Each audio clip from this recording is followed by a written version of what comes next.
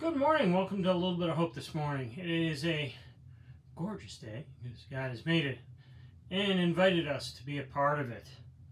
This morning, as we look at Psalm 5, we catch a few things, really. Here are the words Listen to my words, Lord. Consider my lament.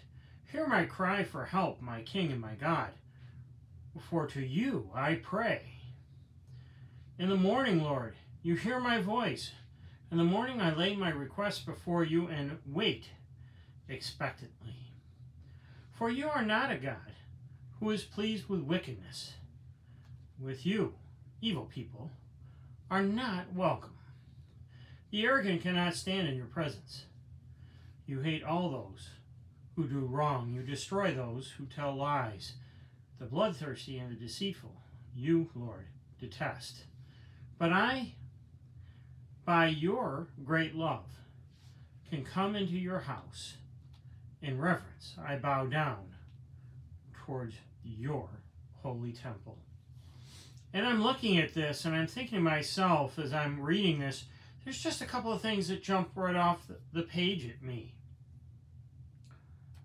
He's calling in prayer to have the Lord consider his lament, his frustration, his cry for help.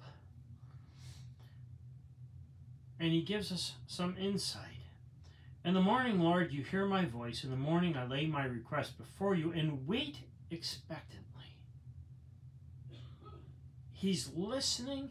He's waiting for the Lord's response to his prayer. How many times do we lift up a prayer and either not let go and leave it in God's hands, or continue to lift it up over and over and over again and not wait to see what is the response. Maybe not listen well for the response because it's not coming in a way that we expect it to.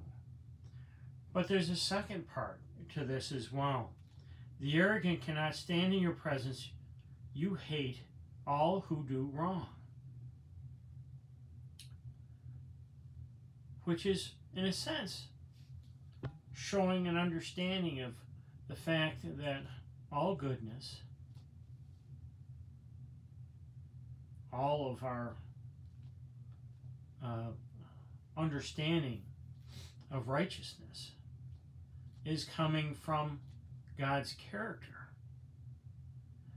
And the fact that, that the psalmist writes and says that the words we say, the actions that we show, the thoughts that we carry with us are important. I think in itself is very important. It shows that it's not just God's character that's portrayed, it's God's character in us as the Holy Spirit moves and transforms us. That there has to be a right and a wrong, that there has to be a showing to the world of who God is in us and through us. Otherwise, how are the others going to be invited or even understand that God is a God who is righteous? Which is why I think that he goes on to say that by your great love, I can come into your house in reverence. I bow down towards your holy temple. He's got it. He's got his understanding and relationship, in a sense, figured out. I come into your house because all of these things I am applying to my life. And I come to your house and I bow down. For you are the ones that can transform all situations and provide a grace that is sufficient for each and every one of us. There's a some hope for the day. Let's pray. Dear Lord, we thank and praise you for this beautiful day you've given to us and for this time together. Lord, we lift to you our frustrations, our requests, and we leave them at the altar, at the foot of the cross, Lord. And we ask that you do help us as we wait for your answer. That we may be patient and that we may be hopeful of your response. For we know your presence, we know your reign. We know that there is nothing too large or too small to bring to you, Lord.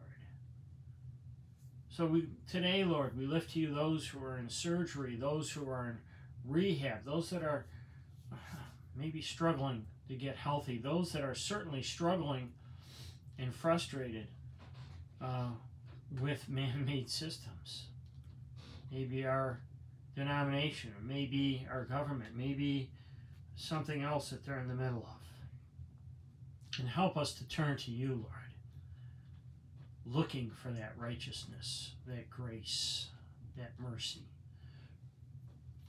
Lord, continue to move in our church as a whole, that we may be uh, reverence and behold that reverence to the world, that others may come to you because they see something different, something new and exciting. Lord, we truly need a revival in your church today to encourage others to come to worship. Lord, we lift you our government workers and our leaders, and we ask, Lord, for their guidance and we ask, Lord, that you guide them as we are asking for guidance from them, or as they are providing it to us.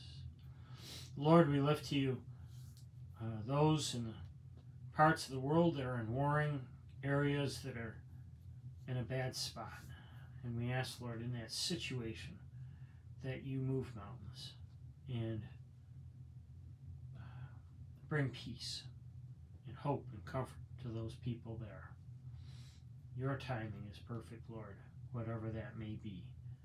We also lift you our churches, our pastors, and Lord, we lift to you our congregations. Change is hard. Change is a difficult thing right now inside of the United Methodist Church, whatever that looks like.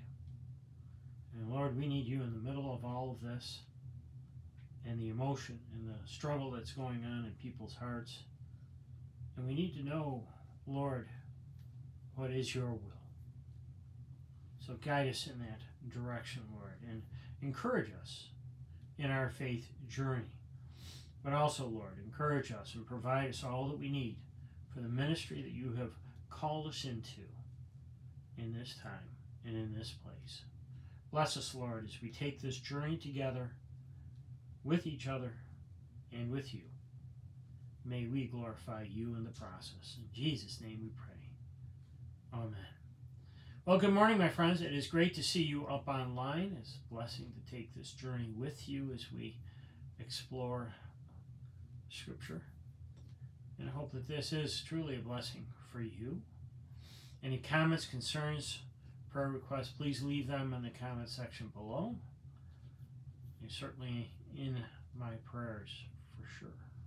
So, my friends, until we see each other again, may the Lord bless you and keep you. May the Lord make his face shine upon you and be gracious to you. May you be blessed and be a blessing to others. Share a kind word, a random act of kindness. Help a friend. Share some scripture that's full of hope and guidance, love, grace, and mercy. Maybe even help someone as they're lamenting. So, my friends, again, thank you for joining me and look forward to our time together again. Sunday worship, as always, 10 o'clock up online or in person. And certainly hope to see you there. And until then, or until the next time we see each other up online again, Be safe. God bless you. Bye for now.